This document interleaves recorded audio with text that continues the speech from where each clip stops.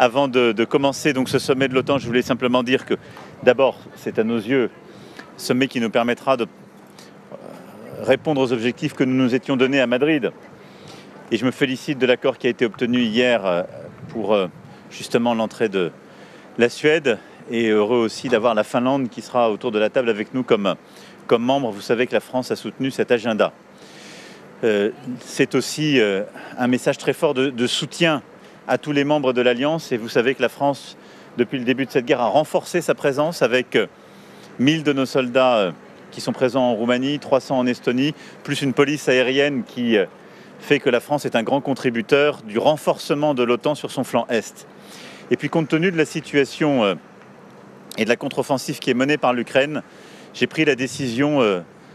d'accroître les livraisons d'armes et d'équipements et de permettre d'avoir justement des capacités de frappe dans la profondeur aux Ukrainiens, toujours en gardant la clarté et la cohérence de notre doctrine, c'est-à-dire permettre à l'Ukraine de défendre son territoire. Et donc euh, nous avons euh, décidé de livrer de, de, nouveaux missiles permettant des frappes dans la profondeur à euh, l'Ukraine. Ce sera donc déployé conformément aux engagements que nous avons pris avec eux. Président, si vous évoque les, propos du président américain qui l'Ukraine n'est pas prête à adhérer à l'OTAN